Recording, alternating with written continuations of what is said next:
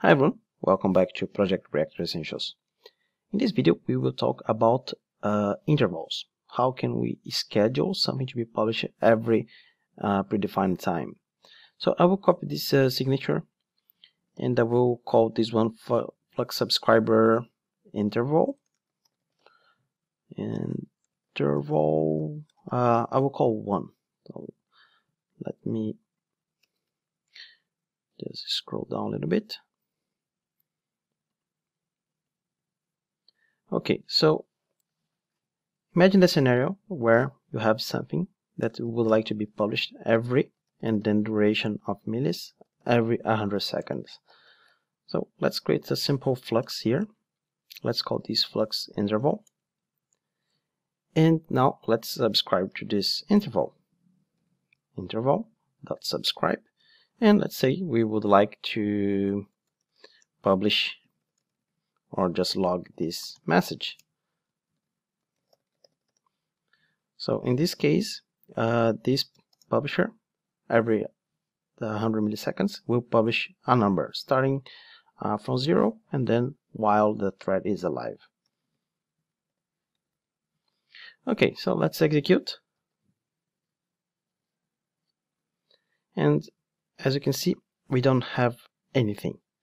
And why is that? Because this is something that's going to block your thread. So the guys from reactor they are smart and they decided to have this interval running on a background thread. If you want to see the result just add the thread.sleep and you can add for example 3 seconds. And let's add here throws exception because of that sleep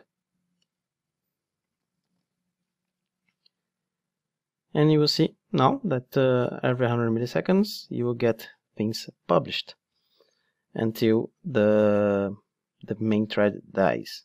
So here we are making the main thread sleep but if you are running this on a web server that would be running forever while that server is uh, up and running. Now let's imagine that you would like to only take a specific number of elements of this interval. So we have this take and you can take it uh, for example I would like to take only 10 elements. And when you run you will see after 10 it will just stop. So 0 to 9 10 and then it will wait until that thread dies. So in this case we will need to cancel this subscription. Now how do we test this? So testing this is a bit more complicated. It's not as simple as just creating a test we have to create virtual time because well 100 milliseconds is pretty easy but imagine that you have uh, something that runs every day. So you don't want to wait a test uh, for a day to get the results. So let's copy this one and let's call this 2 and uh, let's remove this uh, subscribe. Well there is one restriction. What we are going to use is the virtual time and this virtual time has as prerequisite of the virtual time feature that the whole flux should be constructed inside the supplier of this uh, with virtual time because otherwise there is no way to install the, the proper scheduler and ensure all scheduling operators are going to use it. So since this is a limitation from the the reactor itself, we have to we cannot use something like this so this will not work. So if you just try to have this you'll get scheduler exception. So for example let's just uh, verify complete here. So you see if we try to execute this we get this scheduler unavailable. So we have to create this inside uh, this supplier. Now how can we do that? Pretty simple we just have to extract this into a method and we can um, create interval. And we are going to return. Uh, let's not replace this one because I'm going to change here.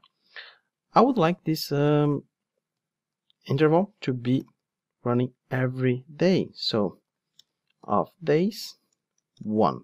So this means I will remove the take that every day it will print one number starting with 0.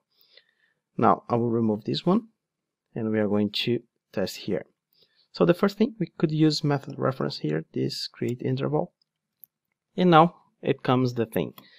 Well, we have to, uh, we are expecting the, the subscription, and then we would like to wait for how long? Well, for the time that we are uh, telling here. So, for example, I would like this to wait of uh, not seconds, days, one day.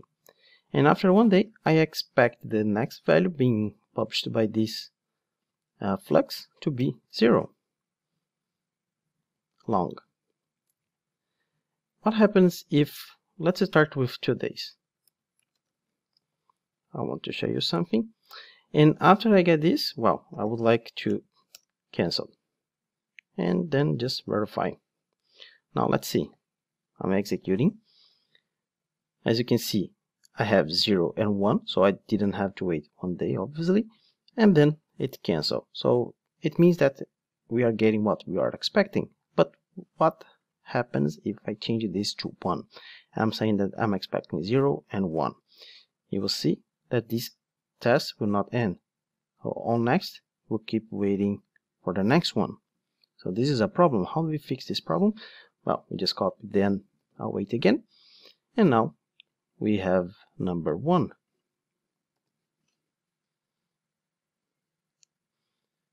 So, and what if you would like to make sure that nothing is uh, being published before one day? Well, here at the after the expect subscription we can create one expect no event and we can say hey I'm not expect any events let's say for example hours in 24 hours. So exactly 24 hours I think it will consider that it was not published yeah but if you try for example 25 hours you will see that it will fail because something was published. So that's why uh, if you want to make sure that uh, nothing's happening before one day just use this expect no event. And you can also use here of course of days one. So make sure that nothing's being uh, published no event is being emitted before one day and then you wait and then you expect this value and you keep you can keep going. So this is the interval. Remember interval it runs in a different thread. So right here coming back again you will see that we have the main thread but we have the this one running on parallel one. That's enough for this video. See you in the next one. Bye